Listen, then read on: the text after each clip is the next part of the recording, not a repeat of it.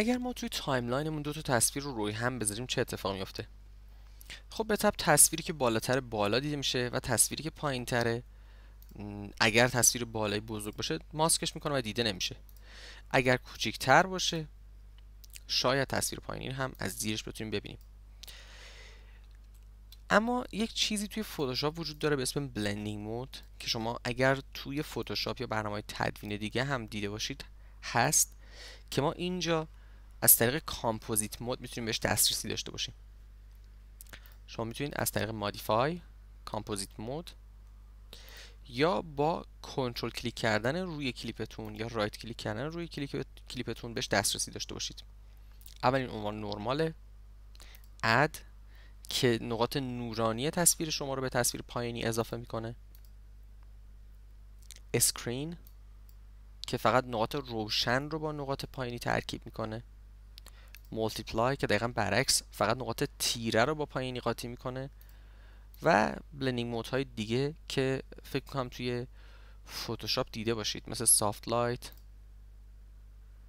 که یه ترکیب لطیف نور هست.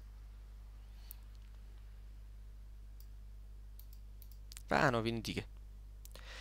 نکته فوق جالبی که اینجا وجود داره ترافل مت آلفا و لوما هست. اگر شما یک سیاهی و سفیدی داشته باشید. یک مپ سیاهی و سفیدی داشته باشید. یا یک آلفای سیاهی و سفیدی داشته باشید. می‌تونید از این دوتا عنوان استفاده کنید برای اینکه این تصویرتون رو توی این تصویر ببینید. خب شاید یه مثال عملی ببینیم بد نباشه. ما اگر اینجا یه text یه معذرت می‌خوام text ایجاد بکنیم با رفتن به effect generators و text من یه text معمولی درست می‌کنم. drag ش می‌کنم توی timeline م خیلی بلنده. دو ثانیه بیشتر نمی‌خوام باشه.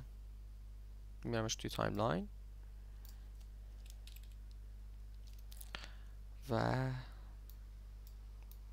میذارمش بین این دو تا تصویر.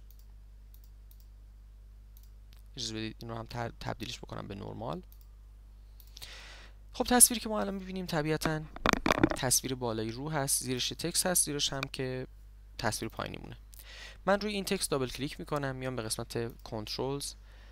مثلا این تکست رو اینجا بنویسم رادان mac.com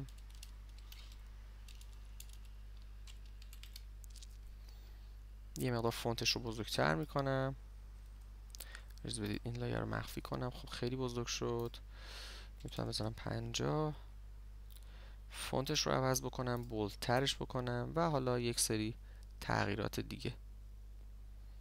به طور مثال فونتش رو بذارم روی جنیوا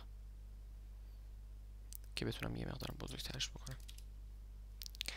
خب جاش رو هم من از طریق سنتر تعیین می‌کنم میارمش اینجا.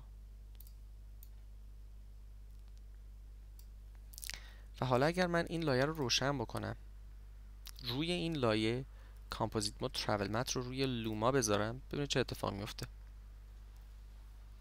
در واقع luma میگه از سیاهی و سفیدی لایه پایینی استفاده کن. سفیدها دیده میشن و سیاه دیده نمیشن. نکته حساس اینه که اون تصویر سیاه و سفید رو شما بین این دوتا باید بذارید و شاید بذارید این اصطلاح شاید اصطلاح خیلی چیزی نباشه ولی خب مصداق داره. بعد این سیاه و سفیدی رو ساندویچ بکنید بین این دوتا. و بالایی رو روی composite mode travel matte قرار بدید. خب من حالا اگه بیام اینجا دوباره توی این تکست دابل کلیک بکنم و بیام توی کنترلز اگر اینجا بزرگتر بکنم شما می‌بینید که این تصویر رو می‌تونید دقیقا از بین اون ببینید. من اگر اینجا فونتم رو مثلا مثلا رادان مک رو دو خطی بکنم. شما تغییرش رو خواهید دید. سایزش رو یه خورده بزرگتر بکنم. جاش رو تغییر بدم. یا حالا یا ببخشید حالا هر چیز دیگه و همونطور که شما می‌دونید می‌تونید کی فریم هم بهش بدید.